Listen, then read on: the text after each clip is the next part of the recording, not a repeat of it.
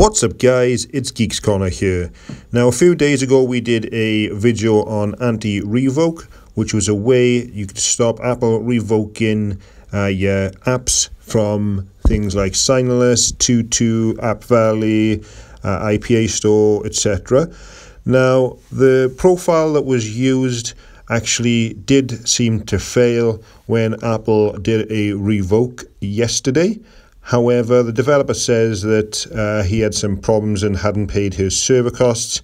Uh, there's been some back and forth between the developer of that and AppDB, who he was actually using uh, some of their servers from. Now, I'm not getting involved in that. However, what you can actually do as well is you can use another method which doesn't rely on servers, so there's no downtime, and this should help you guys stop being revoked.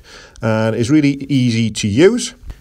Now, the first thing you're going to need to do is to go to the App Store and you're going to need to download AdBlocker. Now I'm going to put a link in the description below. It's not that expensive and it's definitely recommended. You're going to hit settings and then you're going to add in the domains in the group. So we're going to call this Apple Revokes. You can actually call it whatever you want and that will just be a bit easier so I know in the future. And then you're going to actually click in there and add a domain. Now again, I'll put the domain in the description below and you click done and then click save changes. I'm going to go back and save changes again let it just refresh a second and then you're going to sw simply swipe up now it's going to talk about adding a VPN profile which you're going to need to click continue and then allow now if you have touch ID you can just use touch ID if you have a passcode it's going to ask you for your passcode so it's whatever you set in your phone and then you are all done and you're ready to go. Now you can actually have it to show a VPN at all times eh, during the settings if you want.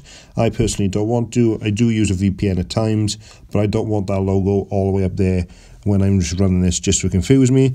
But that's simply all you do, guys, and that will then stop Apple revoking your applications. I highly recommend it whether you use a free signing service or a paid one at the moment because Apple are probably due right about around now to start doing some revokes again. They tend to do it in waves and we've seen some free ones like I said about yesterday so we're probably due to see a few more uh, in the next day or two. So definitely check it out guys. It's simple, it's easy to do. Thanks for watching guys and I'll catch you on the next one.